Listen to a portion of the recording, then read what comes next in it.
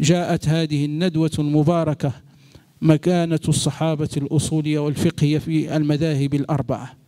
فتم اختيار ستة وعشرين بحثا محكما هي التي تضمنها كتاب الندوة وهي التي سنستمع إلى عروضها خلال جلسات هذا الملتقى. نسأل الله تعالى القبول لكل هذه الأعمال.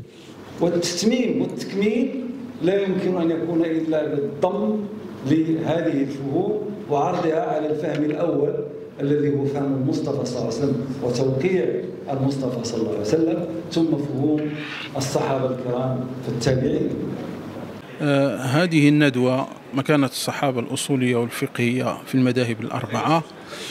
آه هي جاءت من أجل بيان مكانة الصحابة في مجالي الفقه وأصول الفقه. وكذلك الكشف عن طرائق النظر بالنسبة للصحابة وما استفادوه من من النبي صلى الله عليه وآله وسلم في التشريع. وكذلك الأثر أثر الصحابة في المذاهب الأربعة في المذاهب الأربعة في مجال في مجالي القضاء ومجالي العمل ومجالي المواريث وغير ذلك من المجالات الفقهية التي أسس عليها الأئمة الأربعة أسس عليها قواعدهم في في قواعدهم الأصولية ومناهجهم الاستنباطية.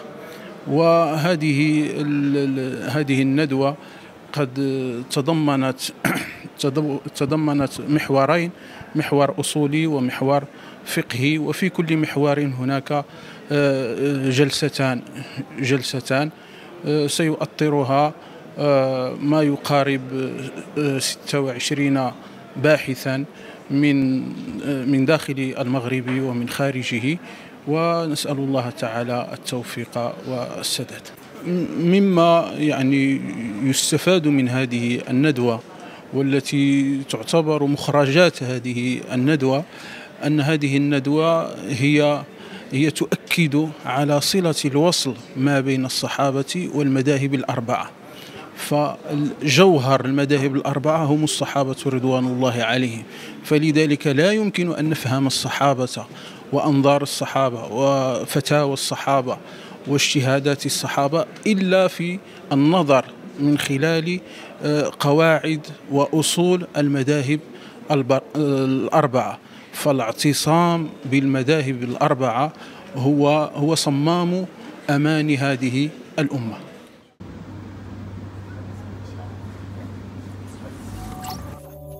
تابعونا على مواقع التواصل الاجتماعي ليصلكم كل جديد.